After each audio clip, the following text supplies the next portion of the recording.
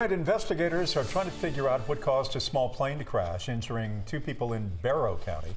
Here's what we know the plane crashed into a wooded area off of Giles Road, about a mile away from the airport in Winder. It then caught fire. One of the people in the plane had to be airlifted to a hospital, and the other person was taken via ambulance. It is unclear how badly they were injured in the crash. The Federal Aviation Administration now is investigating that crash.